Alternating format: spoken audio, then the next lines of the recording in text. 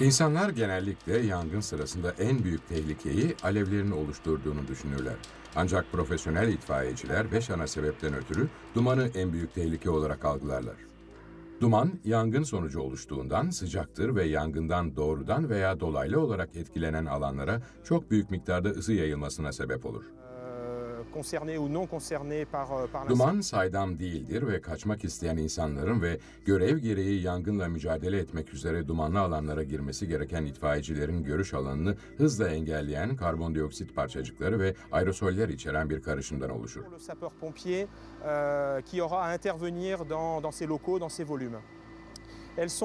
Duman doğası gereği hareketlidir ve yangın dolayısıyla oluşan ısı sonucu yukarı doğru itilir. Bu sebeple kapalı alanları hızla doldurabilir ve bu alanlara hapsolur.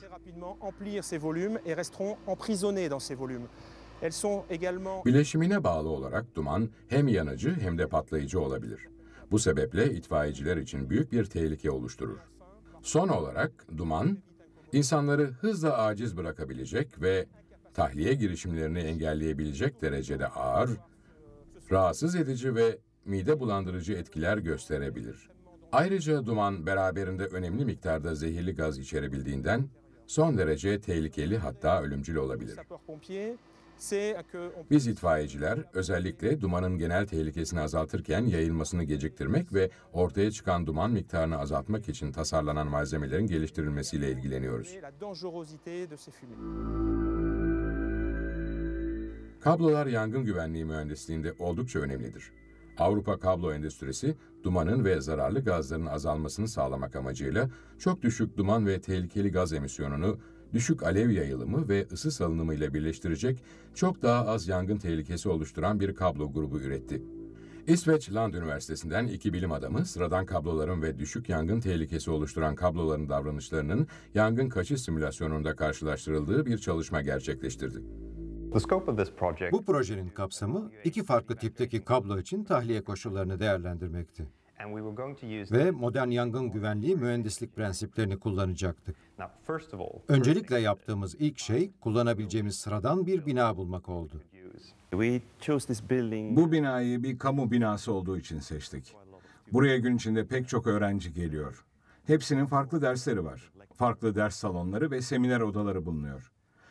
Mevcut sayı en az 50-150 kişi arasında değişiklik gösteriyor. Bu binayı aynı zamanda modern yangın güvenliği mühendisliğinin uygulanabileceği bina yapısı ve avlu tasarımı nedeniyle de seçtik. uh,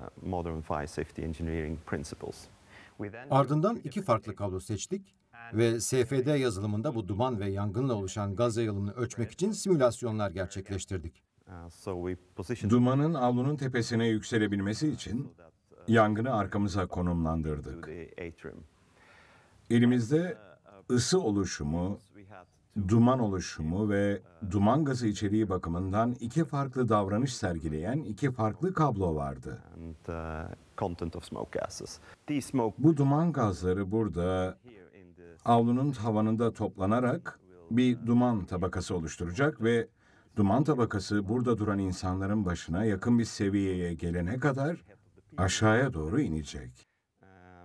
Benim gibi burada duran insanlar bu gazdan, gaz içeriğinin sıcaklığından ve gazların siyahlığından, koyuluğundan ötürü etkileneceklerdir. Elbette bu durum dumana maruz kaldıktan sonra verecekleri tepkiye işaret eden tahliye davranışlarını da etkileyecektir. uh, after uh, being exposed to the smoke.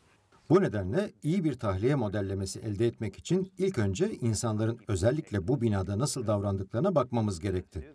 Ve bunu yapmak için insanların hangi çıkışı kullandığını, ne kadar sürede tepki verdiklerini görmek için tahliye denemeleri yaptık. Ardından bu veriyi insanların gerçek yangın senaryosuna tam o anda nerede olacaklarını belirlemek için tahliye modellememizde kullandık.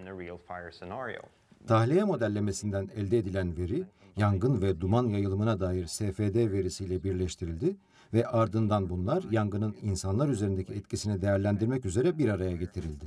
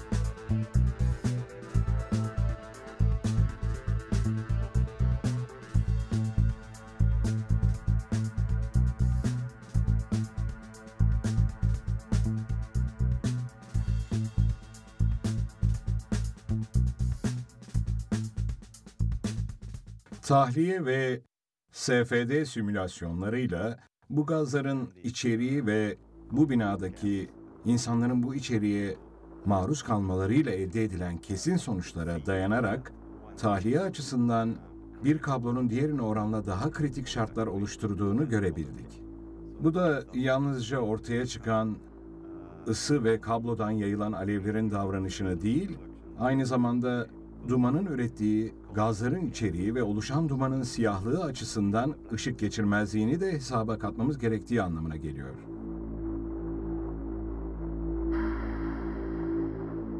Bilimsel çalışmanın sonuçları, düşük yangın tehlikesi arz eden kabloların kamu güvenliğindeki üstünlüğünü gösteriyor. Bu kablolar kaçmak için daha fazla zaman ve kurtarma ekipleri için daha tehlikesiz bir ortam sağlamaya yardımcı oldu. Kamu binalarının ve gökdelenlerin elektrik tesisatı için düşük yangın tehlikesi arz eden kablo gerekliliği, kamu güvenliği için bir öncelik haline gelmelidir.